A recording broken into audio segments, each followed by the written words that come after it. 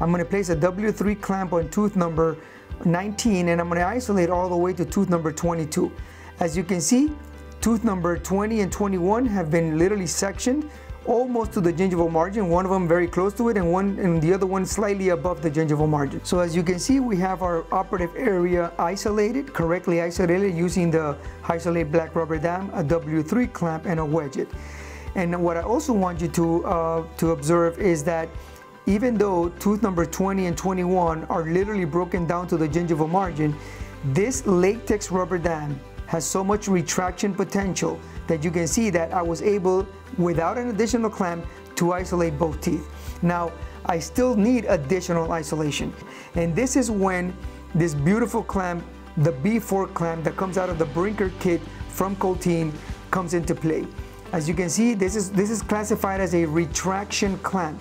So this clamp is actually meant to push the rubber dam and the tissue apically so that you have more tooth exposed. The beauty of this clamp is that the clamp is, you know, the, the jaws are very narrow, they're not as sharp, they're slightly blunted, which actually makes this clamp very easy to push if you need to, you know, push it apically so that it will retract even more.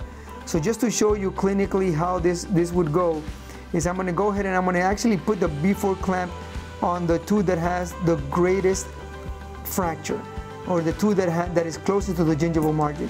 You can see that I was able now to push that rubber dam more coronal, I'm sorry, more apical so that you have better access to the, to, to the actual gingival margins of the tooth.